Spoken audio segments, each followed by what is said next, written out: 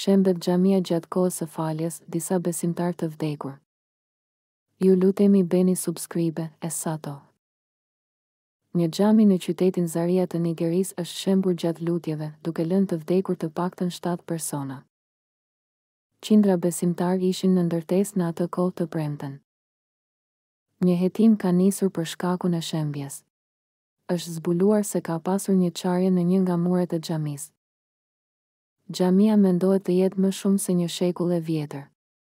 Nigeria ka histori të gjatë të shembjes së ndërtesave, raportoi BBC.